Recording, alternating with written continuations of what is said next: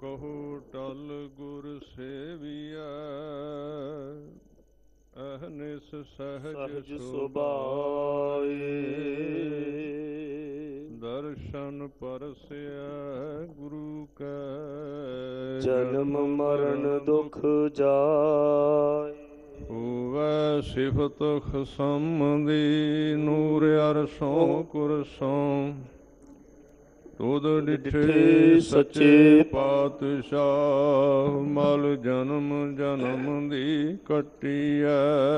ਸੱਜਣ ਸੱਚਾ ਪਾਤ ਸਾਹੋ ਫਿਰ ਸ਼ਾਹਾਂ ਦਾ ਸ਼ਾਹੋ। ਜਿਸ ਪਾਸ ਬੈਠਿਆ ਸੋਹੀਐ।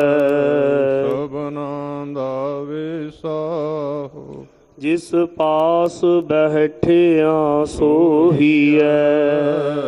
ਸਭਨਾਂ ਦਾ ਵਿਸਾਹੋ ਸਤਨਾਮ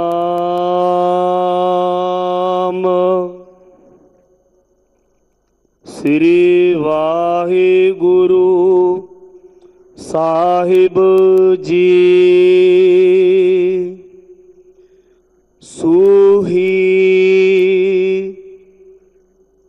ਮਹੱਲਾ ਪੰਜਵਾ। ਅਨਿਕ ਬੀਗ ਦਾਸ ਕੀ ਪਰ ਹਰਿਆ। ਕਰ ਕਿਰਪਾ ਪ੍ਰਭ ਆਪਣਾ ਕਰਿਆ। ਅਨਿਕ ਬੀਗ ਦਾਸ ਕੀ ਪਰ ਹਰਿਆ। ਕਰ ਕਿਰਪਾ, ਪ੍ਰਭ ਆਪਣਾ ਕਰਿਆ। ਤੁਮਹੀ ਛਡਾਏ ਲਿਓ ਜਨ ਆਪਣਾ।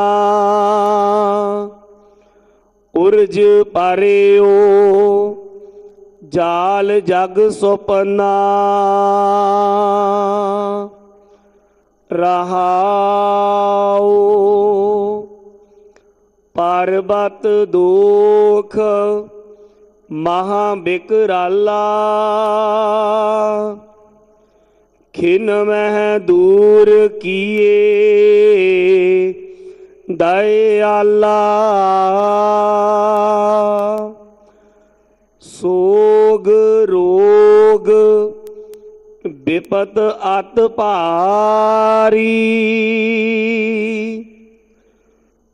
ਦੂਰ ਭਾਈ, ਜਪ ਨਾਮ ਮੁਰਾਰੀ। ਦ੍ਰਿਸ਼ਟ ਧਾਰ, ਲੀਨੋ ਲੜ ਲਾਏ। ਹਰ ਚਰਨ ਗਾਹੇ। ਨਾਨਕ ਸਰਣਾਏ। ਦ੍ਰਿਸ਼ਟ ਧਾਰ, ਲੀਨੋ ਲੜ ਲਾਏ। ਹਰ ਚਰਨ ਗਾਹੇ। ਨਾਨਕ ਸਰਣਾਏ।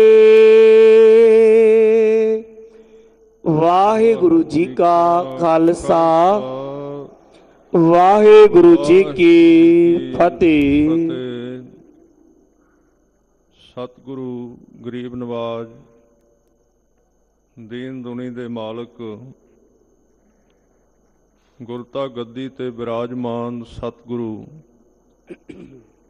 ਆਦ ਸ੍ਰੀ ਗੁਰੂ ਗ੍ਰੰਥ ਸਾਹਿਬ ਜੀ ਮਹਾਰਾਜ, ਆਪ ਜੀ ਦੇ ਸਜੇ ਹੋਏ ਅੰਮ੍ਰਿਤ ਵੇਲੇ ਦੇ ਦੀਵਾਨ ਵਿੱਚ ਪਹੁੰਚੇ।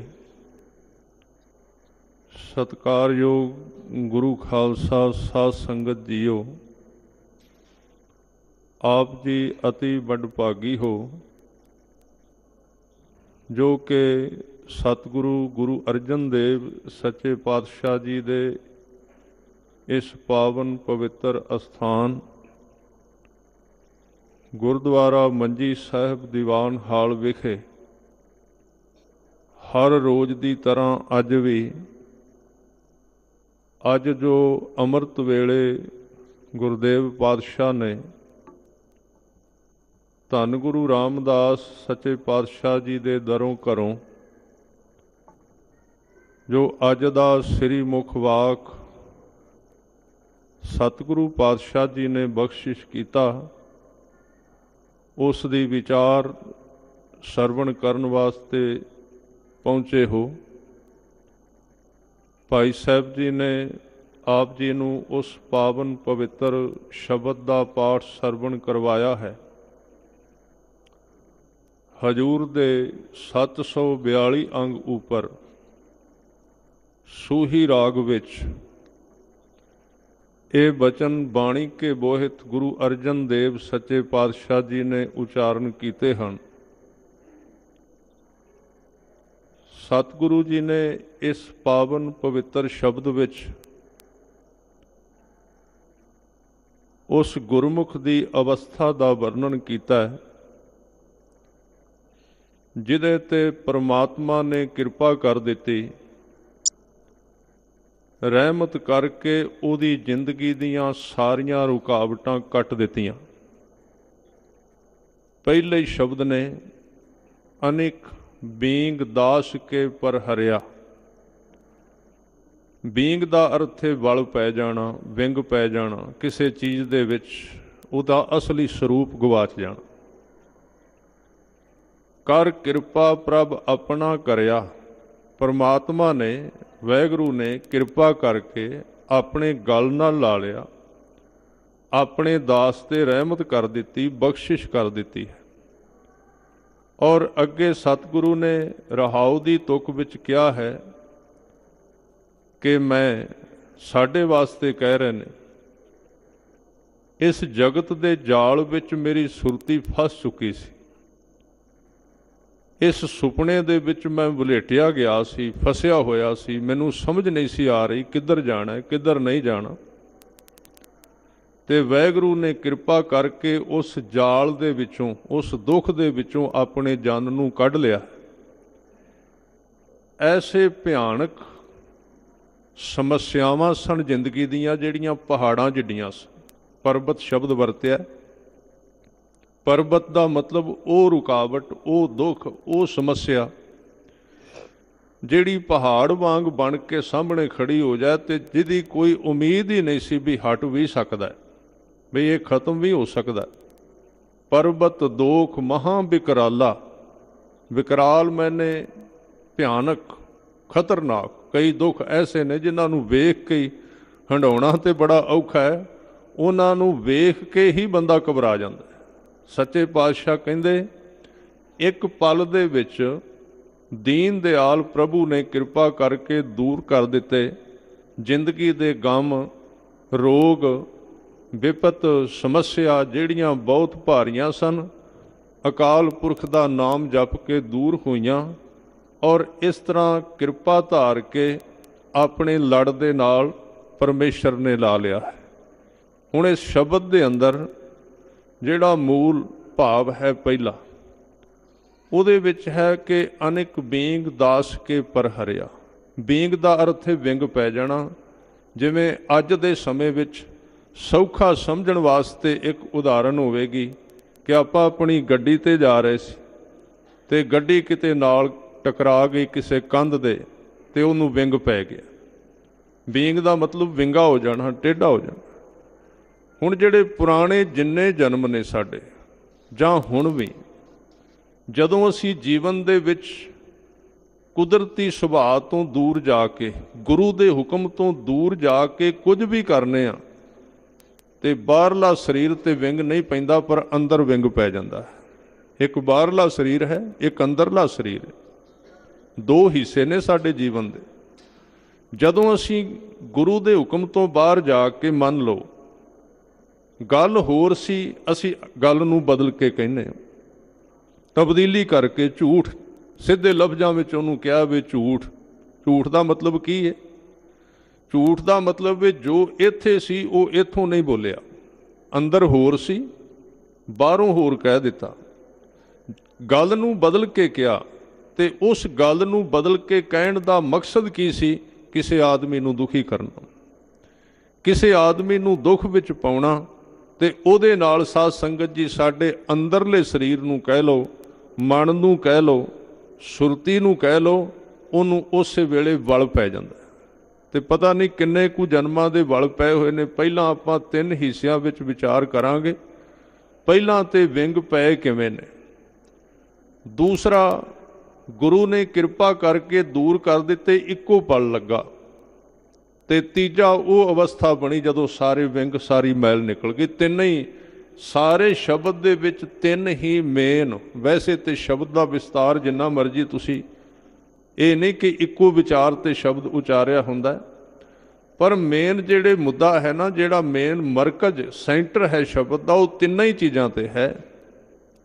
ਪਹਿਲਾ ਹੈ ਕਿ ਵਿੰਗ ਪਏ ਹੋਏ ਨੇ ਮਨ ਨੂੰ। ਸਭ ਤੋਂ ਪਹਿਲਾਂ ਸਾਨੂੰ ਇਹ ਵੇਖਣਾ ਪਏਗਾ, ਵਿੰਗ ਪੈਂਦੇ ਕਿਵੇਂ ਨੇ। ਕਿਉਂਕਿ ਕਈ ਵਾਰੀ ਅਸੀਂ, ਸਾਡੀ ਇੱਕ ਆਦਤ ਬਣ ਜਾਂਦੀ ਏ, ਗਲਤੀ ਕਰਨੀ, ਕਹਿ ਦੇਣਾ ਕਰਮਾਂ ਦੇ ਵਿੱਚ ਸੀ। ਗਲਤੀ ਕਰਨੀ ਇੱਕ ਸੌਰੀ ਕਹਿ ਦੇਣਾ, ਮਾਫ ਕਰ ਦਿਓ। ਬਸ ਆ ਦੋ ਲਫ਼ਜ਼ ਨੇ ਤੇ ਅੱਜ ਦੇ ਸਮੇਂ ਦੇ ਵਿੱਚ ਤਾਂ ਮਾਫੀ ਮੰਗਣੀ ਜਾਂ ਸੌਰੀ ਕਹਿਣਾ ਪੱਛਮ ਦਾ ਇੱਕ ਰਿਵਾਜ ਹੈ ਤੁਸੀਂ ਜਾਓਗੇ ਨਾ ਉਹਨਾਂ ਦੇਸ਼ਾਂ ਦੇ ਵਿੱਚ, ਉੱਥੇ ਵੈਸੇ ਹੀ ਤੁਸੀਂ ਕੋਲੋਂ ਲੰਘੋ ਤੇ ਉਹ ਸੌਰੀ ਕਹਿਣਗੇ, ਸੌਰੀ। ਉਹ ਇੱਕ ਰਿਵਾਜ ਬਣ ਗਿਆ ਮਾਫੀ ਮੰਗਣ ਦਾ। ਤਾਂ ਇੱਥੇ ਵੀ ਸਤਿਗੁਰੂ ਜੀ ਕਹਿ ਰਹੇ ਨੇ ਵੀ ਇਹ ਨਾ ਤੂੰ ਪਿਛਲੇ ਜਨਮ ਤੇ ਨਾ ਕੱਲਾ ਖੜਾ ਰਹੀ। ਕਿ ਪਹਿਲਾਂ ਕਰਮ ਮਾੜੇ ਸੀ ਤੇ ਹੁਣ ਤੇ ਮੈਂ ਬਦਲ ਹੀ ਨਹੀਂ ਸਕਦਾ। ਕੱਲੇ ਪਿਛਲੇ ਕਰਮ ਕੰਮ ਨਹੀਂ ਕਰਦੇ। ਮੈਂ ਬੇਨਤੀ ਕਰਾਂ, ਪਿਛਲੇ ਕਰਮ ਜਿਹਨੂੰ ਭਾਗ ਲੜੀ ਕਿਹਾ ਜ਼ਰੂਰ ਮਨੁੱਖ ਦੇ ਜੀਵਨ ਤੇ ਪ੍ਰਭਾਵ ਪਾਉਂਦੀ ਹੈ ਕੋਈ ਸ਼ੱਕ ਨਹੀਂ ਹੈ। ਪਰ ਕਈ ਵਾਰੀ ਅਸੀਂ ਇਸ ਵਿਚਾਰ ਨੂੰ ਜੀਵਨ ਵਿੱਚ ਧਾਰਨ ਕਰਕੇ ਆਪਣਾ ਟਾਈਮ ਗੁਜ਼ਾਰੀ ਜਾਂਦੇ ਆ ਟਾਈਮ ਪਾਸ ਕਰੀ ਜਾਂਦੇ ਆ ਮੇਰੇ ਤੇ ਕਰਮ ਪਿਛਲੇ ਮਾੜੇ ਸਨ, ਮੈਂ ਤੇ ਕਰਮ ਹੀ ਮਾੜੇ ਕਰ ਦਿੱਤੇ ਨੇ। ਹੁਣ ਤੇ ਕੁਝ ਹੋ ਹੀ ਨਹੀਂ ਸਕਦਾ। ਹੁਣ ਤੇ ਕੋਈ ਹੱਲ ਹੀ ਨਹੀਂ ਨਹੀਂ। ਪਿਛਲੇ ਕਰਮਾਂ ਦਾ ਸਿਰਫ ਅਸਰ ਜ਼ਿੰਦਗੀ ਤੇ 25% ਹੈ। ਜਿਹੜਾ ਪਿਛਲਾ ਸਮਾਂ ਨਿਕਲਿਆ ਨਾ, ਉਹਦਾ ਅਸਰ ਸਿਰਫ 25% ਹੈ ਸਾਡੇ ਜੀਵਨ ਤੇ। ਜਿਹੜਾ 75% ਸਾਡੀ ਜ਼ਿੰਦਗੀ ਦੇ ਵਿੱਚ ਅਸਰ ਪੈਣਾ ਉਹ ਅੱਜ ਜਿਹੜੇ ਆਧਾਰ ਤੇ ਅਸੀਂ ਸੋਚ ਰਹੇ ਹਾਂ, ਜੇ ਸਾਡੇ ਜੀਵਨ ਵਿੱਚ ਅੱਜ ਨੀਅਤ ਹੀ ਰਾਸ ਨਹੀਂ, ਤੇ ਪੁਰਾਣੇ ਕਰਮ ਤੇ ਦੂਰ ਦੀ ਗੱਲ ਹੈ, ਅਸੀਂ ਨਵੇਂ ਕਰਮ ਮਾੜੇ ਕਰੀ ਜਾਂਦੇ ਹਾਂ। ਪੁਰਾਣੇ ਕਰਮ ਤੇ ਮਾੜੇ ਅੱਜ ਤੋਂ ਸ਼ੁਰੂ ਕਰ ਸਕਨੇ। ਇਸ ਕਰਕੇ ਭਾਗਾਂ ਦੇ ਸੰਬੰਧ ਵਿੱਚ ਜ਼ਰੂਰ ਬਾਣੀ ਵਿੱਚ ਕਿਹਾ ਹੈ ਕਿ ਜਨਮ ਜਨਮ ਕੀ ਇਸ ਮਨ ਕੋ ਮਲ ਲਾਗੀ, ਕਾਲਾ ਹੋਆ ਸਿਆਹੋ। ਪੁਰਾਣੇ ਜਨਮਾਂ ਦੇ ਵਿੱਚ ਪੁਰਾਣੇ ਕਰਮਾਂ ਦੀ ਮੈਲ ਲੱਗੀ ਸੀ, ਪਰ ਇਸ ਵਿਚਾਰ ਨੂੰ ਗਲਤ ਥਾਂ ਤੇ ਨਾ ਵਰਤ ਲੈਣਾ, ਨਹੀਂ ਤੇ ਸਾਰੀ ਜ਼ਿੰਦਗੀ ਇਸ ਤਰ੍ਹਾਂ ਲੰਘ ਜਾਏਗੀ ਕਿ ਪੁਰਾਣੇ ਕਰਮ ਸਨ ਉਹਨਾਂ ਦੇ ਆਧਾਰ ਤੇ ਹੁਣ ਵੀ ਮੈਂ ਉਸ ਤਰ੍ਹਾਂ ਹੀ ਕਰੀ ਜਾਣਾ ਹੈ ਤੇ ਮਨੁੱਖ ਵਿੱਚ ਕਦੀ ਤਬਦੀਲੀ ਨਹੀਂ ਆਏਗੀ, ਉਹ ਦੁੱਖ ਦੇ ਵਿੱਚੋਂ ਨਿਕਲ ਕੇ ਸੁੱਖ ਦੇ ਘਰ ਵਿੱਚ ਪ੍ਰਵੇਸ਼ ਨਹੀਂ ਕਰੇਗਾ। ਨਹੀਂ, ਸਤਿਗੁਰੂ ਨੇ ਕਿਹਾ, ਪਿਛਲੇ ਤੇ ਜੋ ਕਰ ਚੁੱਕਾ ਹੈ, ਉਹ ਤਾਂ ਲੰਘ ਗਿਆ ਸਮਾਂ, ਉਹਨਾਂ ਵਾਸਤੇ ਤੂੰ ਸਿਰਫ ਸੋਚ ਸਕਣਾ ਹੈ, ਉਹਨਾਂ ਨੂੰ ਤਬਦੀਲ ਨਹੀਂ ਕਰ ਸਕਦਾ। ਹਾਂ, ਜੇ ਗੁਰੂ ਰਹਿਮਤ ਕਰੇ, ਕਿਉਂਕਿ ਅੱਜ ਮਹਾਰਾਜ ਨੇ ਕਿਹਾ ਜਦੋਂ ਗੁਰੂ ਨੇ ਰਹਿਮਤ ਕੀਤੀ ਤੇ ਵਿੰਗ ਕੱਢ ਦਿੱਤੇ। ਪਰ ਪੁਰਾਣਿਆਂ ਦੇ ਬਾਰੇ ਬਹੁਤਾ ਸੋਚ ਨਾ। ਅੱਜ ਤੋਂ ਲੈ ਕੇ ਗੁਰੂ ਦੀ ਸਿੱਖਿਆ ਲੈ ਕੇ ਆਪਣੇ ਅੰਦਰੋਂ ਪੜ੍ਹਾਈ ਸ਼ੁਰੂ ਕਰ ਦੇ ਗੁਰਮਤ ਦੀ। ਆਪਣੇ ਅੰਦਰੋਂ ਅੱਜ ਤੋਂ ਸ਼ੁਰੂ ਕਰ। ਆ ਮਹਾਰਾਜ ਦੇ ਬਚਨ ਨੇ ਕਿ ਜੈਸਾ ਬਾਲਕ ਭਾਏ ਸੁਭਾਈ, ਲੱਖ ਅਪਰਾਧ ਕਮਾਵੇ, ਲੱਖ, ਲੱਖਾਂ ਹੀ। ਇੱਥੇ ਇਹ ਨਹੀਂ ਕਿਹਾ ਵੀ ਇੱਕ ਪਾਪ ਕੀਤਾ, ਦੋ ਕੀਤੇ, ਚਾਰ ਕੀਤੇ ਨੇ, ਕਿੰਨੇ ਕੁ ਕੀਤੇ, ਲੱਖਾਂ ਪਾਪ ਕੀਤੇ। ਜੈਸਾ ਬਾਰਿਕ ਭਾਏ ਸੁਭਾਈ ਲੱਖ ਅਪਰਾਧ ਕਮਾਵੇ, ਕਰ ਉਪਦੇਸ਼ ਝਿੜਕੇ ਬਹੁ ਭਾਂਤੀ, ਬੌਰ ਪਿਤਾ ਗੱਲ ਲਾਵੇ। ਬਹੁ ਭਾਂਤੀ ਕਈ ਪ੍ਰਕਾਰ ਦੇ ਨਾਲ। ਹੁਣ ਜਦੋਂ ਵਿੰਗ ਕੱਢਣਾ ਹੋਵੇ, ਤੇ ਕਈ ਪ੍ਰਕਾਰ ਤੁਸੀਂ ਵੇਖਿਆ ਹੋਣਾ ਨਾ, ਮਕੈਨਿਕ ਜਿਹੜਾ ਥੌੜਾ ਲੈ ਕੇ ਇੱਕ ਥਾਂ ਤੇ ਨਹੀਂ ਮਾਰਦਾ ਫਿਰ। ਕਦੀ ਇਧਰੋਂ ਥੌੜਾ ਮਾਰੇਗਾ, ਕਦੀ ਇਧਰੋਂ ਵਿੰਗ ਕੱਢੇਗਾ, ਕਦੀ ਦੂਜੇ ਪਾਸੇ ਪਲਟ ਕੇ, ਕਦੀ ਇਧਰ, ਕਦੀ ਉਧਰ। ਤੇ ਵਿੰਗ ਨਿਕਲਨੇ ਕਿਵੇਂ ਨੇ? ਮਹਾਰਾਜ ਸੱਚੇ ਪਾਤਸ਼ਾਹ ਕਹਿੰਦੇ ਵੀ ਅਨੇਕ ਭਾਂਤੀ ਕਈ ਪ੍ਰਕਾਰ ਦੇ ਨਾਲ, ਕਰ ਉਪਦੇਸ਼ ਝਿੜਕੇ, ਬਹੁ ਭਾਂਤੀ, ਬਹੁਰ ਪਿਤਾ, ਗੱਲ ਲਾਵੇ, ਪਿਛਲੇ ਔਗਣ ਬਖਸ਼ ਲੈ ਪ੍ਰਭ ਆਗੈ, ਮਾਰਗ ਪਾਵੇ, ਪਿਛਲੇ ਔਗਣ ਉਹਦੇ ਬਖਸ਼ ਦਿੱਤੇ, ਪਰ ਹੁਣ ਅੱਗੋਂ ਆ ਲਫ਼ਜ਼ ਬੜਾ ਜ਼ਰੂਰੀ ਹੈ। ਆਗੈ, ਮਾਰਗ ਪਾਵੇ। ਇੱਥੇ ਆ ਕੇ ਅਸੀਂ ਦੜ ਵੱਟ ਜਾਂਦੇ ਆ ਕਹਿ ਲੋ ਵੀ ਚੁੱਪ ਕਰ ਜਾਂਦੇ ਆ ਸਾਡੀ ਮਰਜ਼ੀ ਇੱਕੋ ਹੁੰਦੀ ਹੈ ਵੀ ਮਹਾਰਾਜ ਪਿਛਲੇ ਬਖਸ਼ ਦਿਓ, ਜਿਹੜੇ ਮਾੜੇ ਕੀਤੇ ਨੇ। ਤੇ ਬੋਲਦੇ ਨਹੀਂ, ਮੈਂ ਗੱਲ ਕਹਿ ਦਿਆਂ ਸਤਿਗੁਰੂ ਦੀ ਹਜ਼ੂਰੀ ਵਿੱਚ, ਅੱਗੋਂ ਅਸੀਂ ਮੰਗਦੇ ਹੀ ਆ ਵੀ ਮਾੜੇ ਕਰਨ ਦੀ ਇਜਾਜ਼ਤ ਦੇ ਦਿਓ ਹੋਰ। ਪਿਛਲੇ ਤੇ ਕੀਤੇ ਨੇ। ਇਹ ਮਹਾਰਾਜ ਦਾ ਸਿਧਾਂਤ ਨਹੀਂ ਹੈ। ਸੱਚੇ ਪਾਤਸ਼ਾਹ ਜੀ ਦਾ ਇਹ ਸਿਧਾਂਤ ਹੈ, ਅੱਜ ਤੱਕ ਤੂੰ ਜੋ ਕੁਝ ਕੀਤਾ ਹੈ, ਉਹ ਮੇਰੇ ਅੱਗੇ ਰੱਖ ਦਿਓ, ਮੇਰੀ ਜ਼ਿੰਮੇਵਾਰੀ ਹੈ। ਤੇ ਉਹਨੂੰ ਖਤਮ ਕਰਨ ਲੱਗਿਆ ਗੁਰੂ ਨੂੰ ਦੇਰ ਨਹੀਂ ਲੱਗਦੀ। ਇਹ ਮਤ ਸੋਚਣਾ। ਬਾਣੀ ਦੇ ਆਧਾਰ ਤੇ ਇਹ ਕਿ ਜੋ ਪਿਛਲਾ ਸਾਡਾ ਖਜ਼ਾਨਾ ਭਰਿਆ ਹੈ, ਉਹਨੂੰ ਖਤਮ ਹੁੰਦਿਆਂ ਦੇਰ ਨਹੀਂ ਲੱਗਦੀ, ਪਰ ਉਸ ਸੋਚ ਨੂੰ ਛੱਡਣ ਲੱਗਿਆਂ ਦੇਰ ਲੱਗਦੀ ਹੈ, ਦੋ ਚੀਜ਼ਾਂ ਨੇ। ਕਰਮਾਂ ਨੂੰ ਖਤਮ ਕਰਨ ਲੱਗਿਆਂ ਗੁਰੂ ਸਾਹਿਬ ਦੇਰ ਨਹੀਂ ਲਾਉਂਦੇ, ਪਰ ਤਾਂ ਜੇ ਆਗੇ ਮਾਰਗ ਪਾਵੇ, ਜੇ ਸਾਡੀ ਨੀਅਤ ਅੱਗੋਂ ਸਿੱਧੇ ਰਾਹ ਤੇ ਤੁਰਨ ਦੀ ਹੈ, ਜੇ ਸਾਡੀ ਨੀਅਤ ਨਹੀਂ, ਫਿਰ ਤਾਂ ਇੰਜ ਕਹਿ ਲੋ ਆ ਗੁਰੂ ਤੇਗ ਬਹਾਦਰ ਸਾਹਿਬ ਜੀ ਦਾ ਸ਼ਹੀਦੀ ਗੁਰਪੁਰਬ, ਕੱਲ ਨੂੰ ਹੈ ਆਪਾਂ ਮਹਾਰਾਜ ਦੀ ਸ਼ਹਾਦਤ ਵੀ ਵਿਚਾਰਨੀ। ਤੇ ਉਹਨਾਂ ਦਾ ਇੱਕ ਸ਼ਲੋਕ ਆਪਾਂ ਲੈ ਲੈਨੇ ਆ ਇਹਦੇ ਉੱਤੇ। ਪਿਛਲੇ ਦਿਨੇ ਕਿਉਂਕਿ ਵਿਚਾਰ ਬੰਗਲਾ ਸਾਹਿਬ ਤੋਂ ਚੱਲਦੀ ਰਹੀ ਹੈ, ਤੇ ਉਹ ਮੇਰੇ ਸਾਹਮਣੇ ਆ ਗਿਆ। ਵੀ ਅਸੀਂ ਕਰਦੇ ਕੀ ਆ? ਸੱਚੇ ਪਾਤਸ਼ਾਹ ਕਹਿੰਦੇ ਨੇ, ਤੀਰਥ ਵਰਤ ਅਰਦਾਨ ਕਰ। ਮਨ ਮੈਂ ਧਰੈ, ਗੁਮਾਨ, ਨਾਨਕ ਨੇਫਲ ਜਾਤ ਤੇ ਜਿਉ ਕੁੰਚਰ ਇਸ਼ਨਾਨ ਕੁੰਚਰ ਦਾ ਅਰਥ ਹੈ ਹਾਥੀ। ਕਹਿੰਦੇ ਬੜੇ ਕੁਝ ਵੀ ਕਹਿ ਲੋ ਤੀਰਥ ਕਹਿ ਲੋ ਵਰਤ ਪਾਠ ਕਹਿ ਲੋ ਇੱਕੋ ਹੀ ਚੀਜ਼। ਚੰਗੇ ਕੰਮ ਤਾਂ ਬਹੁਤ ਕੀਤੇ ਸਨ। ਬਹੁਤ ਚੰਗੇ ਕੰਮ ਆਦਮੀ ਕਰਦਾ ਹੈ। ਦੋਵੇਂ ਇਕੱਠੇ ਕਰਦਾ ਹੈ। ਨੁਕਸ ਇਹ ਪੈਂਦਾ ਜ਼ਿੰਦਗੀ ਦੇ ਵਿੱਚ ਦੋਵਾਂ ਨੂੰ ਇਕੱਠੇ ਕਰੀ ਜਾਂਦਾ ਹੈ। ਤੇ ਸੱਚੇ ਪਾਤਸ਼ਾਹ ਜੀ ਕਹਿੰਦੇ ਨੇ ਤੀਰਥਾਂ ਦਾ ਇਸ਼ਨਾਨ ਵੀ ਕੀਤਾ, ਪਾਠ ਵੀ ਕੀਤਾ, ਸਭ ਕੁਝ ਕੀਤਾ, ਪਰ ਮਨ ਦੇ ਵਿੱਚ ਮਨ ਮੈਂ ਧਰੈ, ਗੁਮਾਨ, ਮਨ ਦੇ ਵਿੱਚ ਹੰਕਾਰ ਕਰ ਲਿਆ ਕਿ ਮੇਰੇ ਵਰਗਾ ਧਰਮੀ ਕੋਈ ਨਹੀਂ, ਉਹ ਕਰਮ ਕਿਵੇਂ ਦੇ ਨੇ? ਕਹਿਣ ਲੱਗੇ, ਨਾਨਕ ਨੇ ਫਲ ਜਾਤ ਤੇ, ਉਹਨਾਂ ਦਾ ਫਲ ਕੋਈ ਨਹੀਂ ਮਿਲਣਾ, ਜਿਉ ਕੁੰਚਰ ਇਸ਼ਨਾਨ ਕੁੰਚਰ ਦਾ ਅਰਥ ਹੈ ਹਾਥੀ।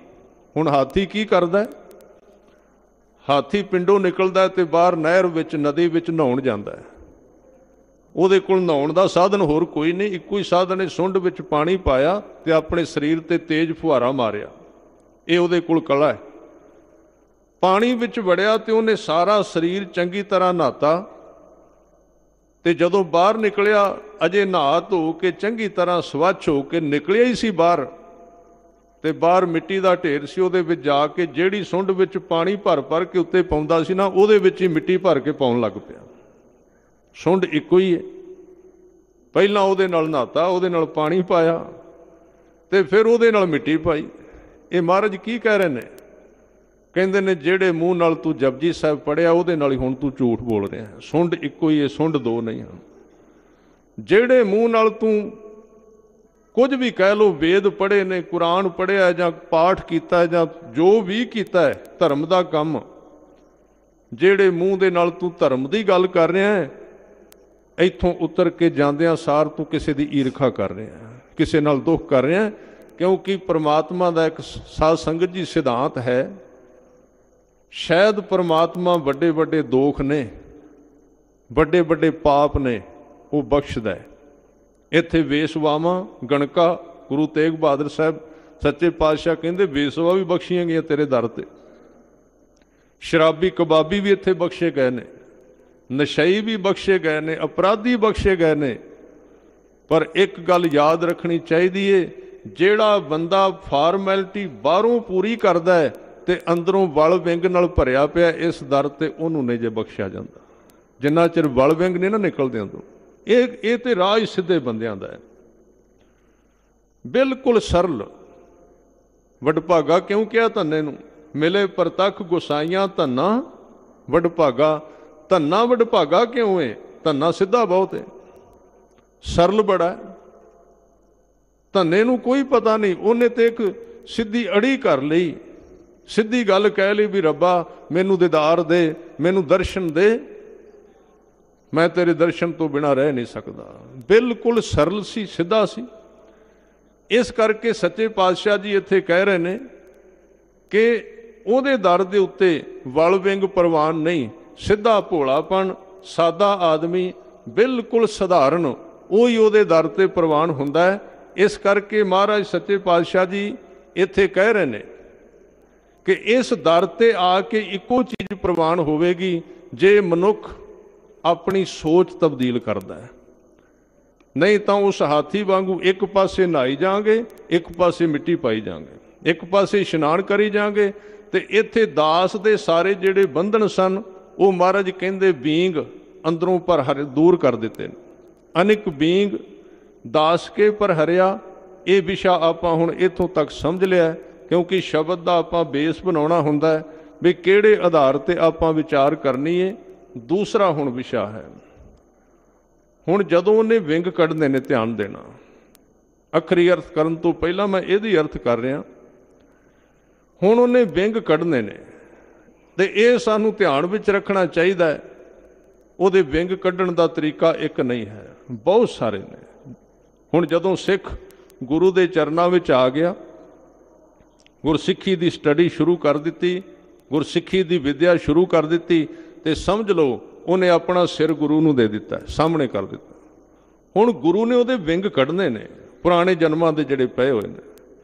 ਤੇ ਸਾਧ ਸੰਗਤ ਜੀ, ਵਿੰਗ ਇੰਨੀ ਤਰ੍ਹਾਂ ਕੱਢਦਾ ਹੈ ਕਿ ਜਿਹਦੇ ਵਿੰਗ ਕੱਢਦਾ, ਉਹਨੂੰ ਪਤਾ ਨਹੀਂ ਲੱਗਦਾ ਵੀ ਕੀ ਕਰੀ ਜਾਂਦਾ ਕਈ ਵਾਰੀ ਆਮ ਤੁਸੀਂ ਵੇਖੋਗੇ, ਧਾਰਮਿਕ ਬੰਦਾ ਅੱਕ ਜਾਏਗਾ। ਰੁਕਾਵਟ ਆਏਗੀ ਜ਼ਿੰਦਗੀ ਵਿੱਚ, ਦੁੱਖ ਆਵੇਗਾ, ਮੁਸੀਬਤਾਂ ਆਉਣਗੀਆਂ, ਬੜੀਆਂ ਰੁਕਾਵਟਾਂ ਆਉਣਗੀਆਂ। ਠੀਕ ਹੈ ਪਰਮਾਤਮਾ ਦਾ ਨਾਮ ਸੁਖਦਾਈ ਹੈ ਸੁਖ ਦੇਣ ਵਾਲਾ ਹੈ ਬਖਸ਼ਾਂ ਕਰਨ ਵਾਲਾ ਹੈ ਪਰ ਸਾਧ ਸੰਗਤ ਜੀ, ਉਹ ਸਿਰੇ ਤੇ ਜਾ ਕੇ ਵੇ, ਜਦੋਂ ਸ਼ੁਰੂ ਕਰੋਗੇ, ਉਸ ਵੇਲੇ ਬੜੇ ਵਿੰਗ ਕੱਢਦਾ, ਬੜੀ ਚੰਗੀ ਤਰ੍ਹਾਂ। ਕੋਈ ਪਤਾ ਨਹੀਂ, ਫਿਰ ਦੱਸਦਾ ਵੀ ਨਹੀਂ ਕਿ ਮੈਂ ਤੇਰੇ ਵਿੰਗ ਕੱਢ ਰਿਹਾ, ਜਿਹਦੇ ਵਿੰਗ ਕੱਢੀ ਜਾਂਦਾ, ਉਹ ਰੋਂਦਾ ਹੈ ਕਲਪਦਾ ਹੈ ਕਈ ਵਾਰੀ ਕਹਿੰਦਾ, ਤੇਰੇ ਨਾਲੋਂ ਪਹਿਲਾਂ ਚੰਗੇ ਸੀ, ਤੇਰੇ ਲੜ ਲੱਗਣ ਨਾਲੋਂ। ਕਈ ਤਰੀਕੇ ਵਰਤਦਾ ਹੈ ਤੇ ਗੁਰੂ ਨਾਨਕ ਸਾਹਿਬ ਸੱਚੇ ਪਾਤਸ਼ਾਹ ਜੀ ਨੇ ਇੱਕ ਉਦਾਹਰਨ ਦਿੱਤੀ ਉਹ ਕਹਿੰਦੇ ਨੇ, ਜਿੱਦਣ ਉਹਨੇ ਕਿਰਪਾ ਕਰਨੀ ਹੈ, ਇੱਕੋ ਪਲ ਲੱਗਣਾ। ਟਾਈਮ ਨਹੀਂ ਲੱਗੇਗਾ, ਸਮਾਂ ਨਹੀਂ ਲੱਗਦਾ, ਇੱਕੋ ਪਲ। ਉਹਨਾਂ ਦਾ ਬਚਨ ਹੈ, ਦੀਵਾ ਮੇਰਾ ਏਕ ਨਾਮ, ਦੁੱਖ ਵਿੱਚ ਪਾਇਆ ਤੇਲ।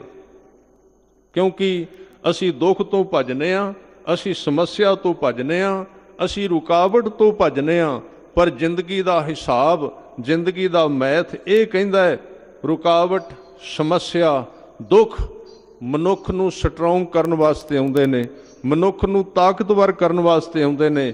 ਜਿਹੜਾ ਉਹਨਾਂ ਤੋਂ ਭੱਜ ਗਿਆ, ਉਹ ਹਾਰ ਗਿਆ। ਜਿਹੜਾ ਉਹਨਾਂ ਦੇ ਅੱਗੇ ਗੁਰੂ ਦੀ ਕਿਰਪਾ ਨਾਲ ਖਲੋ ਗਿਆ ਤੇ ਉਹਨਾਂ ਦੁੱਖਾਂ ਨੇ ਉਹਨੂੰ ਤਾਕਤ ਦੇ ਦਿੱਤੀ ਮੈਂ ਉਦਾਹਰਨ ਦੇਣਾ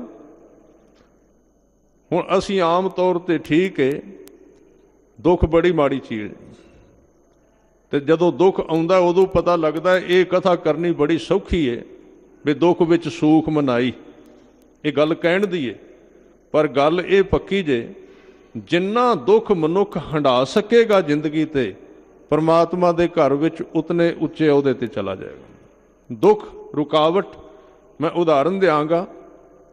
ਇੱਕ ਬੰਦਾ ਗੱਡੀ ਵਿੱਚ ਬਹਿ ਕੇ ਸਫ਼ਰ ਕਰ ਰਿਹਾ ਇੱਕ ਬੰਦਾ ਸੜਕ ਤੇ ਦੌੜਦਾ ਜਾ ਰਿਹਾ ਭੱਜਦਾ ਜਾ ਰਿਹਾ ਹੁਣ ਦੋ ਨੇ ਧਿਆਨ ਦੇਣਾ। ਜੇ ਬਾਹਰੋਂ ਵੇਖੋ ਤੇ ਦੌੜਨ ਵਾਲਾ ਦੁਖੀ ਹੈ ਤੇ ਗੱਡੀ ਵਾਲਾ ਸੁਖੀ ਹੈ ਕਿਉਂਕਿ ਆਰਾਮ ਨਾਲ ਗੱਡੀ ਵਿੱਚ ਬੈਠਾ ਐਸੀ ਲੱਗਾ ਜਿਹੜਾ ਭੱਜ ਰਿਹਾ, ਜਿਹੜਾ ਦੌੜ ਰਿਹਾ, ਉਹਦੇ ਹੱਡ ਪੈਰ ਵੀ ਦੁਖਦੇ ਨੇ, ਉਹਨੂੰ ਪਸੀਨਾ ਵੀ ਆ ਗਿਆ, ਉਹਨੂੰ ਸਾਹ ਵੀ ਚੜਿਆ, ਉਹਨੂੰ ਥਕਾਵਟ ਵੀ ਹੋਈ ਜੇ ਸੰਸਾਰੀ ਨਜ਼ਰ ਨਾਲ ਵੇਖੋ ਤੇ ਜਿਹੜਾ ਭੱਜ ਰਿਹਾ, ਜਿਹੜਾ ਦੌੜ ਰਿਹਾ ਹੈ ਉਹ ਦੁਖੀ ਹੈ ਜਿਹੜਾ ਗੱਡੀ ਵਿੱਚ ਬੈਠਾ ਉਹ ਸੁਖੀ ਹੈ ਪਰ ਜਦੋਂ ਤੁਸੀਂ ਡੰਗਾਈ ਵਿੱਚ ਜਾਓਗੇ, ਜਿਹੜਾ ਦੌੜ ਰਿਹਾ ਜਿਹੜਾ ਦੁੱਖ ਸਹਿ ਰਿਹਾ ਹੈ, ਜਿਹੜਾ ਥਕਾਵਟ ਸਹਿ ਰਿਹਾ ਹੈ, ਉਹਦੇ ਸਰੀਰ ਦੀ ਤਾਕਤ ਵੱਧਦੀ ਜਾਂਦੀ ਹੈ ਤੇ ਜਿਹੜਾ ਗੱਡੀ ਦੇ ਵਿੱਚ ਬੈਠਾ ਉਹਦਾ ਸਰੀਰ ਰੋਗੀ ਹੋ ਜਾਂਦਾ ਹੈ। ਰਿਜ਼ਲਟ ਵਿੱਚ ਫ਼ਰਕ ਪੈ ਗਿਆ ਨਾ। ਅਸੀਂ ਜ਼ਿੰਦਗੀ ਦੇ ਵਿੱਚ ਗੁਰਬਾਣੀ ਤੋਂ ਦੂਰ ਜਾ ਕੇ ਕੁਝ ਗੱਲਾਂ ਮੰਗ ਰਹੇ ਹਾਂ। ਠੀਕ ਹੈ, ਦੁੱਖ ਦੂਰ ਹੋਣਾ ਚਾਹੀਦਾ ਇਹ ਜ਼ਰੂਰੀ ਹੈ। ਪਰ ਇਹ ਕਹਿਣਾ ਕਿ ਦੁੱਖ ਹੈ ਹੀ ਸਰਾਫ। ਨਹੀਂ। ਮਹਾਰਾਜ ਕਹਿੰਦੇ, ਦੀਵਾ ਮੇਰਾ ਏਕ ਨਾਮ, ਦੁੱਖ ਵਿੱਚ ਪਾਇਆ ਤੇਲ, ਉਨ ਚਾਨਣ ਉਹ ਸੁਖਿਆ, ਚੂਕਾ ਜਮ ਸਿਓ ਮੇਲ। ਰੁਕਾਵਟ ਜ਼ਿੰਦਗੀ ਨੂੰ ਪਾਵਰ ਦਿੰਦੀ ਹੈ ਸ਼ਕਤੀ ਦਿੰਦੀ। ਮੰਨ ਲਓ ਇੱਕ ਬੱਚਾ ਫੇਲ ਹੋ ਗਿਆ। ਇੱਕ ਵਾਰੀ ਤੇ ਝਟਕਾ ਲੱਗਾ ਵੀ ਸਾਰੇ ਸਾਲ ਦੀ ਮਿਹਨਤ ਸੀ, ਜਾਂ 2 ਸਾਲ ਦੀ ਮਿਹਨਤ ਸੀ, ਜਾਂ 3 ਸਾਲ ਦਾ ਕੋਰਸ ਕੀਤਾ ਸੀ ਤੇ ਇੱਕਦਮ ਡਿੱਗ ਪਿਆ। ਹੁਣ ਉਹਨੂੰ ਰੁਕਾਵਟ ਆ ਜਾਏਗੀ। ਉਹ ਦੁਖੀ ਹੈ। ਹੁਣ ਉੱਥੋਂ ਦੋ ਰਾਹ ਜਾਂਦੇ ਨੇ। ਜੇ ਤੇ ਗੁਰੂ ਦੀ ਬਾਣੀ ਦੇ ਨੇੜੇ ਆ ਗਿਆ, ਗੁਰੂ ਕਲਗੀਧਰ ਪਾਤਸ਼ਾਹ ਦੇ ਸਿਧਾਂਤ ਦੇ ਨੇੜੇ ਆ ਗਿਆ ਤੇ ਸਤਿਗੁਰੂ ਨੇ ਕਹਿਣਾ ਦੁੱਖ ਤੈਨੂੰ ਹੋਰ ਘੜਨ ਵਾਸਤੇ ਆਇਆ ਹੈ। 3 ਸਾਲ ਤੂੰ ਪਹਿਲਾਂ ਲਾਏ ਨੇ ਕੋਰਸ ਤੇ। ਤਿੰਨਾਂ ਦਾ ਤਜਰਬਾ ਤੇਰੇ ਕੋਲ ਪਹਿਲਾਂ ਹੈ। ਉੱਠ ਖੜਾ ਹੋ 3 ਸਾਲ ਹੋਰ ਲਾ ਦੇ। ਤੇ ਜਿੱਦਣ ਤੂੰ ਦੂਜੀ ਵਾਰੀ 3 ਸਾਲ ਲਾ ਕੇ ਪਾਸ ਹੋਵੇਂਗਾ ਉਦੋਂ ਤੇਰੇ ਕੋਲ 6 ਸਾਲਾਂ ਦਾ ਤਜਰਬਾ ਆ ਜਾਏਗਾ। ਜਿਹੜਾ ਪਹਿਲਾ ਪਾਸ ਹੋ ਗਿਆ, ਉਹਦੇ ਕੋਲ ਤਿੰਨਾਂ ਦਾ ਹੀ ਤਜਰਬਾ ਹੈ। ਜਿਹੜਾ ਦੂਜੀ ਵਾਰੀ ਡਬਲ 3 ਸਾਲ ਲਾ ਕੇ ਆਇਆ ਹੈ, ਉਹ ਹੰਡ ਗਿਆ ਹੈ। ਉਹਦੇ ਅੰਦਰ ਤਾਕਤ ਵੱਧ ਗਈ ਏ, ਉਹਦੇ ਕੋਲ ਵਿੱਦਿਆ ਜ਼ਿਆਦੇ ਹੋ ਗਈ ਏ। ਜ਼ਿੰਦਗੀ ਬਿਲਕੁਲ ਇਸੇ ਤਰ੍ਹਾਂ ਦੀ ਹੈ ਮਹਾਰਾਜ ਕਹਿੰਦੇ, ਦੁੱਖ ਬੜੇ ਆਏ ਸਨ।